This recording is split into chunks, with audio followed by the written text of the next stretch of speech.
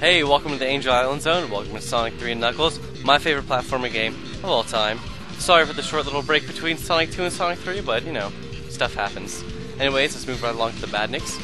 Obviously, the first zone Badniks are gonna be really shitty, and you know, that's okay by me, so let's take a look at him. First up is Monkey Dude. I shit you not, that's his fucking English name. Monkey Dude. Look in your Sonic 3 manual. Anyway, he's just like Coconuts from Sonic 2, you know, he throws coconuts, but this guy only has one. Once he throws it, it's fucking useless. We also got Rhinobot, not even worth talking about. He just goes left and right. He sucks. Fuck him. Anyways, we also got Caterkiller Jr., obviously named after Caterkiller from Sonic 1, but they're fucking nothing alike at all. So I don't know why it's called that. I mean, I guess they kind of look like caterpillars, but whatever. There's also this flower-looking motherfucker who sucks. Whatever, you know, fuck him. Let's just get along with the actual level.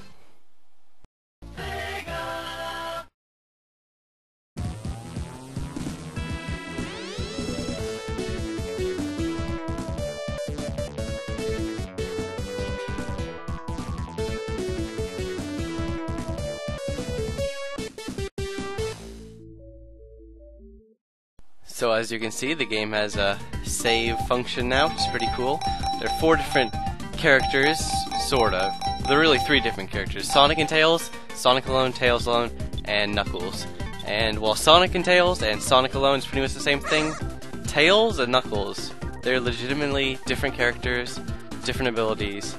Knuckles is what's he's really different. I mean, he's got pretty much a whole different game. Like most of the levels are completely changed, different final boss. Anyways, as you can see, this is Knuckles now. He actually hits Supersonic, knocks the Chaos Emeralds out of him, and takes him away. I think that's the only time anyone has ever fucked Supersonic up in the entire series. So, as you can see, it looks pretty different, but you know, it's pretty cool. The only real gameplay difference that's apparent now is you have this weird, kind of pointless insta-shield thing. But here's something you could do in Sonic 2 that I never got to show off. If you plug in controller into the second port, you can control Tails.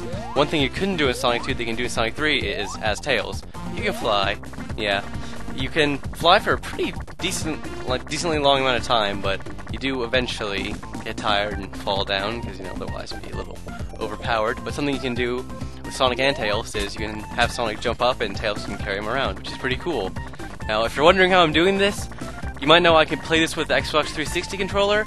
I have Sonic hooked up to the left analog stick and Tails hooked up to the D-pad. It's really fucking hard to control. You should try sometime.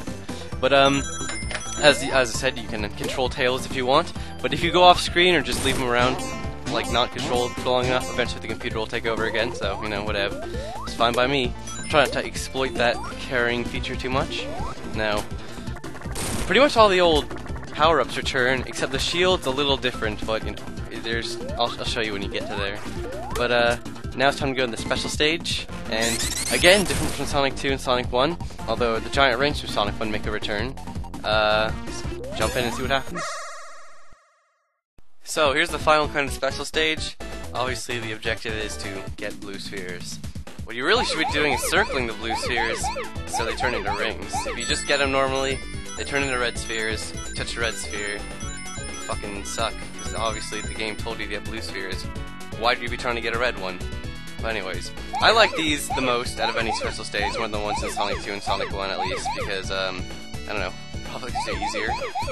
These ones are easier anyways. The ones later on where you're trying to get the super emeralds and shit, they can be pretty fucking difficult, but for the first, first five or so, maybe, they're pretty easy. The first three especially, I played these ones like a million times as a kid, so I'm pretty much fucking memorized, know how to get the perfect.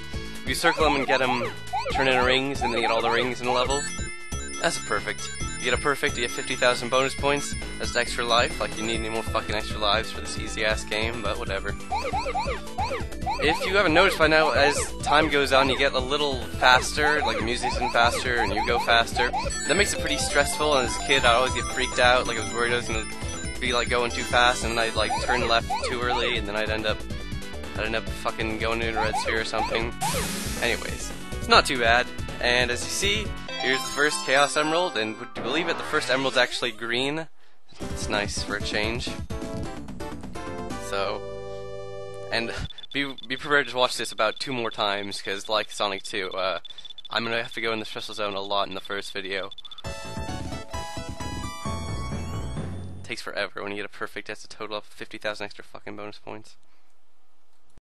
So, there's the special stages. They get a little tedious, but for Super Sonic, it's worth it. So, keep on moving along.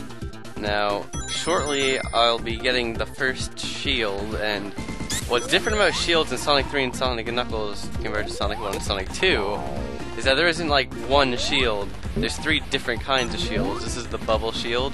You have this weird kind of bouncing attack, and the other feature is that it lets you breathe underwater forever. But I'm not gonna Trying to show you that. I mean, it's ridiculous. But yeah, see, you can do this kind of bouncing attack thing. It's not that useful, but I mean, it's kind of fun. It lets you get up on some ledges that you couldn't otherwise, but I'd say it's maybe second best shield. It's only really especially super useful in the second level of Sonic 3, which you'll be seeing in the next video. Now, what's this? You think it's a boss fight or something, but it's really just a cutscene. This weird blue thing sets the whole island on fire. There you go. There goes the stereotypical green level. Now it's it's all, it's all on fire. And, okay, so, just like Sonic 2, if you have enough rings, I think it's 20, 25, you pass a, like a star post, you go into a bonus stage. But this isn't for, like, uh, like for Chaos Emeralds. This is just rings and shields and one-ups. And this is just, this is one of three. As you saw, I just got the fire shield. And I'll talk about that in a minute when I get out of here.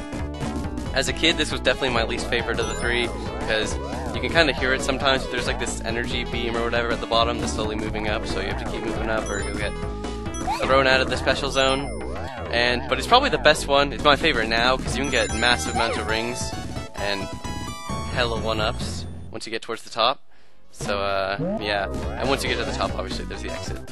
So here's the other second type of shield and it's the fire shield. It protects you from all kinds of fire-related attacks, and you have this weird kind of dash forward attack.